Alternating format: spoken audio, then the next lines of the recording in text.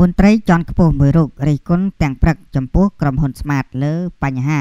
ដដែលដដែលជាពិសេសទៅលើ Customer Service Skill ផ្នែកសីលធម៌និយាយស្ដីតែម្ដងភ្នំពេញនៅមុននេះបន្តិចអាចអាដាមដួងតារាដែលជាអនុរដ្ឋលេខាធិការនៃនៃទីស្ដីទីគណៈរដ្ឋមន្ត្រីបានបង្ហោះសាររិះគន់ទាំងព្រឹកព្រលឹមចំពោះក្រុមហ៊ុន Smart ដែលជាក្រុមហ៊ុនសេវាទូរស័ព្ទដ៏ធំមួយនៅក្នុងប្រទេសកម្ពុជា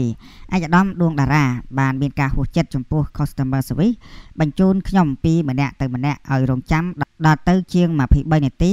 ហើយនៅតែគ្មានអ្នកជួយខ្ញុំដដែល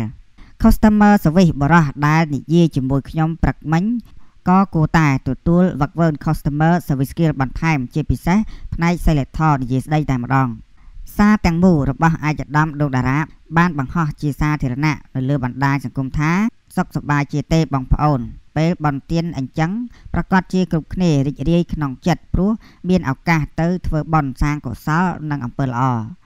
បងប្អូនណាខ្លះប្រើ smart ខ្ញុំក៏ជាអតិថិជន smart ម្នាក់ដែរខ្ញុំប្រើលេខ smart ព្រោះតែមានជំនឿលើ smart telecom service ប៉ុន្តែជារៀងរាល់ខែខ្ញុំតែងតែជំពាក់លុយ smart ខ្ញុំពីមុនមិនដឹងថាហេតុអ្វីបានជាលេខខ្ញុំអត់ដំណើរការគឺជារៀងរាល់ខែតែម្ដងហើយខ្ញុំបានព្យាយាមខលផងនិងទៅជួបមន្ត្រី smart នៅការិយាល័យធំរបស់ smart ផងគាត់ថាលេខខ្ញុំជាប់ផុស pet service ខ្ញុំថាដោះឲ្យខ្ញុំចេញទៅព្រោះខ្ញុំអត់សូវប្រើអ្វីផងជំពាក់ smart រៀងរាល់ខែបែបនេះចំនួនទឹកលុយមិនជាបញ្ហាធំដុំទេ ប៉ុន្តែបញ្ហាធំនោះគឺក្រុមហ៊ុន Smart ផ្ដាច់លេខខ្ញុំមិនអោយខលចេញចូលបាន ដោយអត់បានដឹងជាមុនសំបីខលទៅលេខ8 3ដើមក៏ខលអត់ចូលដែលធ្វើឲ្យប៉ះពាល់ដល់ការងាររបស់ខ្ញុំតើបងប្អូនមានជួបបញ្ហាដូចខ្ញុំដែរឬទេជាមួយ Smart ខ្ញុំសរសើរ Smart Smart ពូកែរកលុយពីអតិថិជន តែសូមយកចិត្តទុកដាក់ក្នុងការបម្រើអតិថិជនឲ្យបានល្អផង ព្រឹកមិញនេះខ្ញុំបានខសួរពីបញ្ហាដដែលដដែលនឹងទៀត customer service បញ្ជូនខ្ញុំម្នាក់ទៅម្នាក់ឲ្យរងចាំជាង23នាទីហើយនៅតែគ្មានអ្នកជួយខ្ញុំដដែល customer service បរោះដែលនិយាយជាមួយខ្ញុំព្រឹកមិញគួរណាទទួលវឹកវើ customer service skill បន្ថែមជាពិសេសផ្នែកសិលធម៌នៃការនិយាយស្ដីយើងចូលរួមរិះគន់ស្ថាបនា Smart ឲ្យคล้ายទៅជា Telecom ដែលជាទីទុកចិត្តរបស់អតិថិជនពិតប្រាកដ បាទប្រិមិត្តនេះគឺតកតងនឹងអាដាមលោកតារាដែលយើងស្គាល់ថាគឺជាអនុរដ្ឋលេខាធិការនៃទីស្តីការគណៈរដ្ឋមន្ត្រី បានបង្ហោះសារ